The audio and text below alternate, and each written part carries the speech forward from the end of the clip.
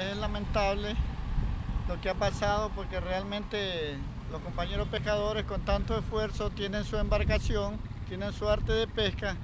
y de un día para otro en momentos eh, quedan a la deriva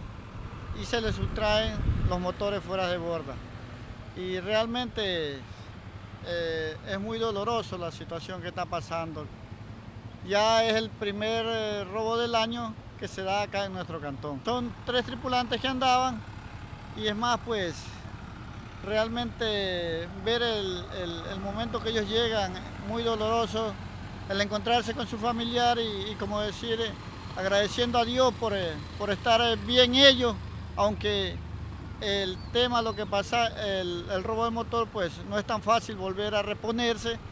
volver a adquirir una maquinaria, para poder volver a trabajar. Eh, bueno, ahí habría que hablar eh, con el tema de la casa que está dando estos motores. Por cierto, debido a la situación de que la pesca cada día va más lejos, eh, los compañeros dueños de embarcaciones pues estaban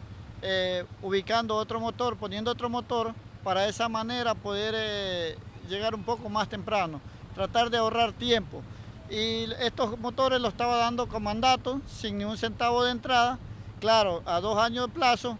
pero realmente lo que ha pasado hoy día, el compañero recién acaba de poner el motor, el primer viaje, y le pasa este percance. Bueno, de hecho la Marina eh, tenemos eh, la situación de un, plan de, de, seguridad,